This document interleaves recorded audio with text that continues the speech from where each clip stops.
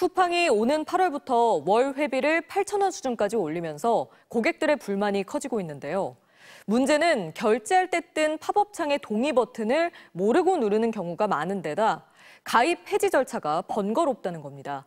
해지하기 버튼을 찾아서 SNS 구석구석을 누벼야 하는 건데요. 공정거래위원회가 조사에 나섰습니다. 임현주 기자입니다. 쿠팡이 월 회비를 8,000원 가까이 인상하는 시점은 오는 8월입니다. 4년째 유료 회원이었던 한 고객은 쿠팡 측 안내 메일에 모두 미동의로 답해왔습니다. 그런데 갑자기 자신이 요금 인상에 동의했다는 문자를 받았습니다. 최근 과일을 한 번 주문해 결제한 적이 있는데 그때 동의가 이루어졌다는 겁니다. 내 의사에 의해서 내가 동의를 하는 음. 거라 고민하다가 나도 모르게 동의가 되는 거랑은 되게 다르거든요. 정말 눈, 눈 뜨고 코 베인 것 같은 그런 느낌을 딱 받더라고요. 또 다른 쿠팡 고객도 팝업 창에 떠 있던 동의 버튼을 자신이 눌렀다며 요금 인상 안내를 받았습니다. 한 번 동의가 된 거는 미동의를 바꿀 수가 없다는 거예요.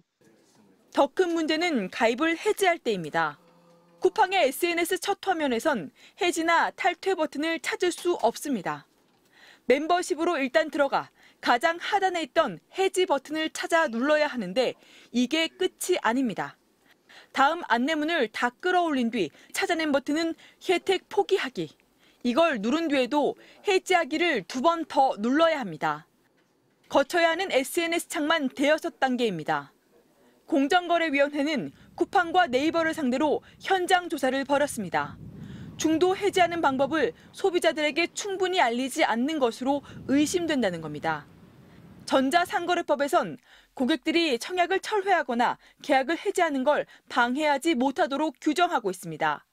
공정위는 쿠팡과 네이버 본사에서 약관 관련 자료를 확보하고 법 위반이 확인되면 엄정 조치하겠다고 밝혔습니다. MBC 뉴스 임현주입니다.